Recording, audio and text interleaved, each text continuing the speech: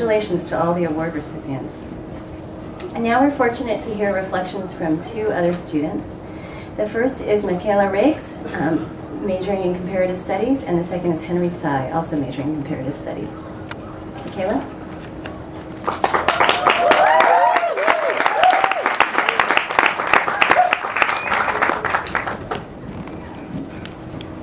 Good afternoon. Um, I know you're all baking in this warm California day, so I'll try to keep this short. Um, I want to start by congratulating all the graduates and their families. It has certainly been a long and full four years, and I think I speak for all of us when I say we definitely couldn't have done it without the support of our family and friends. I'm honored to stand in front of you today to share a few words about this amazing program. The Center for Comparative Studies in Race and Ethnicity has been my academic home here at Stanford since I set foot on campus freshman year. It's a program that attempts to tackle one of the biggest issues that faces our society today. Race and ethnicity is present in all aspects of our lives, from our daily interactions with classmates, to the television shows we watch, to the classes that we take. CSRE has provided us with a place to study issues of race, power, and privilege in a way that is applicable and functional for the many different fields we pursue. Similarly, CSRE provides not only support, but an intellectual basis for the many student groups, activities, and events we are active in outside of our studies. Whether we're pursuing degrees to be doctors, teachers, or engineers, this department has prepared us to critically analyze the world in which we live and to generate solutions. There is one value that has been consistently reinforced through each and every course I have taken with CSRE. That value is responsibility. Just as Mahatma Gandhi said, you must be the change you wish to see in the world.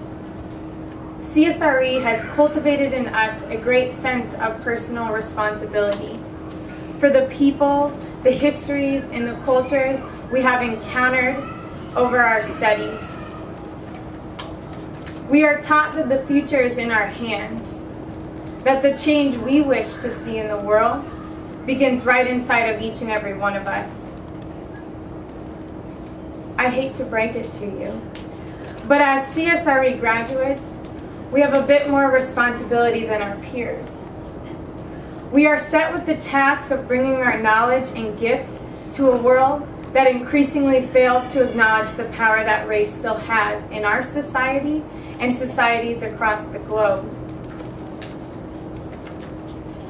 Today I want to share with you some wise words from a spiritual activist and author, Marianne Williamson.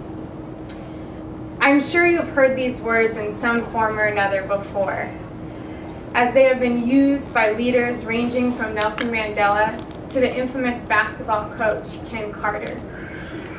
She says, Our deepest fear is not that we are inadequate. Our deepest fear is that we are powerful beyond measure. It is our light, not our darkness, that frightens us most we ask ourselves, who am I to be brilliant, gorgeous, talented, and famous? Actually, who are you not to be? You are a child of God. Your playing small does not serve the world. There is nothing enlightened about shrinking so that people won't feel insecure around you.